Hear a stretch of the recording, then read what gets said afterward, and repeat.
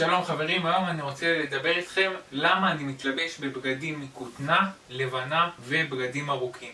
אז קודם כל למה מכותנה ולמה כותנה לבנה? אם נתבונן בטבע, אני מחפש חוקים. כל מעשה שאני עושה אני בודק חוקים, מהם החוקים שמכוונים אותי מה לעשות. ואני רואה שהכותנה גדלה בצבע לבן. אין כותנה בצבע אחר. כל הכותנה גדלה בצבע לבן. ומה אני מבין מזה? שהכותנה, הצבע הכי נכון בשבילה הוא לבן. אז אם יש לי עכשיו לבחור האם לצבוע את הכותנה, לשנות אותה מהטבע שלה, או להשאיר אותה בטבע שלה, כמובן שאני עדיף להשאיר אותה בטבע שלה. אחר כך תראו איך הטבע משתלב ביחד. יש חוק שצבע כהה ממיר את אור השמש לחום.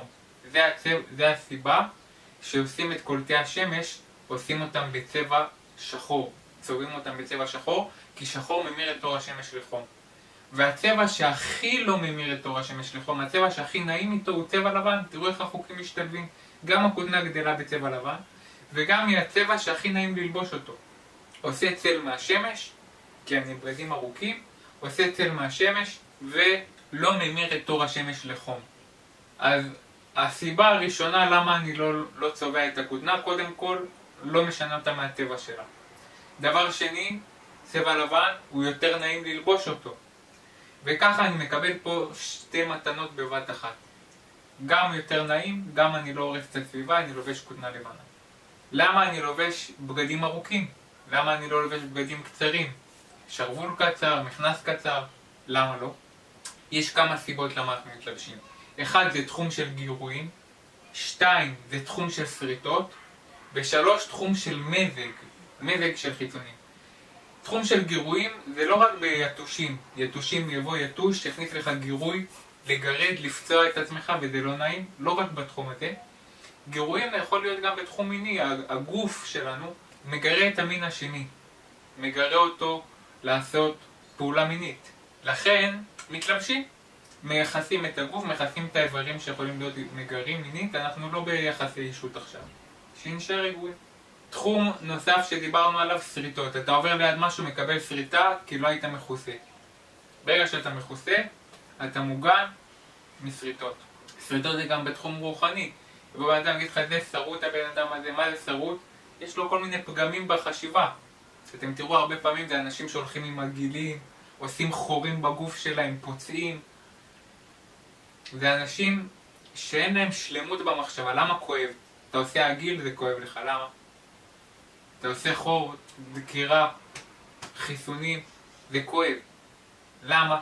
כי לא נכון לדקור את הגוף, הגוף מרגיש אזעקה, נפצעתי. בגלל זה אני גם לא עושה חיסונים דרך אגב, אנחנו הבנו שיש דרך טבעית להחלים ממחלות. על זה ראוי לעשות סרטון בפני עצמו. שריטות. אחר כך יש תחום של מזג, מזג של חיצונים חם מדי או קר מדי, עושה צל מהשמש, שזה נעים יותר, מגן עליך מחום, או מגן עליך מקור, שהוא מבודד לך את החום של הגוף, ויותר נעים לך. יש אנשים שיש להם מזג יסודי משלהם. זאת אומרת, אני רק צריך שיהיה לי בידוד קל למזג שבחוץ, ונעים לי עם המזג שלי. איך זה שאנחנו לא קופאים בלילה? השמש נמצאת פה ביום, בלילה היא נמצאת כאן. איך זה שהאזור הזה לא קופא בלילה? אם השמש היא מקור החום היחידי? כי לכל גוף יש לו מזג יסודי משלו. לא חם מדי, לא קר מדי. גם לכדור הארץ יש לו מזג יסודי משלו. השמש יכולה להוסיף עוד חום, אבל יש את המזג היסודי של כדור הארץ. גם לי, יש לי מזג משלי והוא נעים לי. אני רק צריך הגנה מהשמש שבחוץ, שלא תוסיף עליי חום, על, על החום שכבר גם ככה יש לי. אנשים שהם בריאים, יש להם מזג יסודי משלהם, והוא נעים להם. בחורף גם נעים, יש לי מזג משלי קר מדי, מתלבשים בבגדים יותר אטומים. אז אלו שלושת הסיבות למה מתלבשים בכלל, ולמה אני מתלבש בכותנה לבנה. אחד, אני לא רוצה להשחית את הסביבה, הכותנה גדלה בצבע לבן, אני לא אשחית את הטבע שלה, אני אשאיר אותה בצבע לבן שלה, אני לא אזהם את הסביבה בצבעים שהם מזהמים את הסביבה, צבע זה כימיקלים, ושתיים, זה יותר נעים ללבוש בגד לבן, הוא לא ממיר את אור השמש לחום. זהו, הקפנו פחות או יותר את כל הנושא הזה של ביגוד. אם אתם אוהבים לקבל תובנות וחשיבה טבעית, אתם מוזמנים להירשם לערוץ וללחוץ על הפעמון. ועד הפעם הבאה, יאללה ביי!